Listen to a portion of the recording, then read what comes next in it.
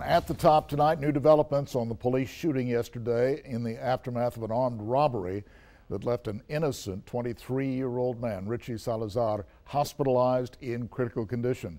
District Attorney Mark Gonzalez's office released a statement today saying they will be reviewing the evidence and will do it in a transparent and fair way. Our Michelle Pedraza spoke with Gonzalez tonight about this top story and also got an update from police and neighborhood reaction. Michelle?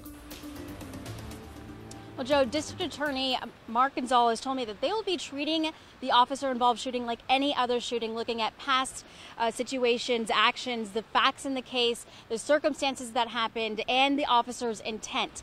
Now, the officers involved in yesterday's shooting include Senior Officer Gilbert Cantu and Officer Jacqueline De Leon, who's been on the job for less than a year. Both have been placed on paid administrative leave as CCPD is investigating.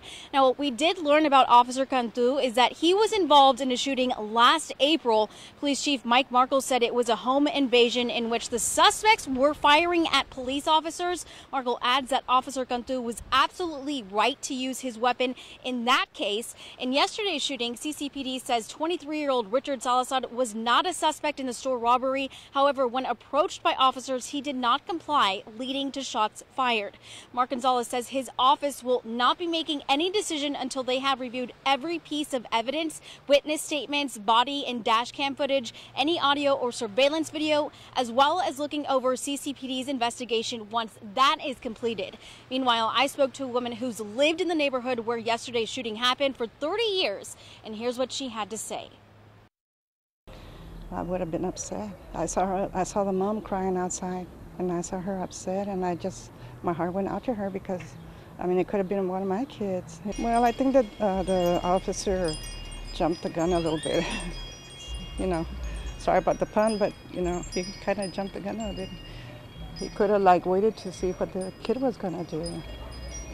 To me, he's just a young guy. He's not a troublemaker. Moreno adds she heard about five gunshots during yesterday's shooting. She described the Salazar family as quiet. She said they had not lived in the neighborhood for even a year. Other neighbors who spoke to Salazar's mother say that he is in the hospital in critical condition and has undergone multiple surgeries and still needs more. Now, once the investigation is complete and the DA's office has reviewed it, they will most likely send it over to the grand jury. Meanwhile, uh, Mark Gonzalez tells me that he would like the public to be patient, not to come to any conclusions until the investigation is completed. For now, live from CCPD headquarters, Michelle Pedraza, 3 News. Okay, Michelle, thanks very much.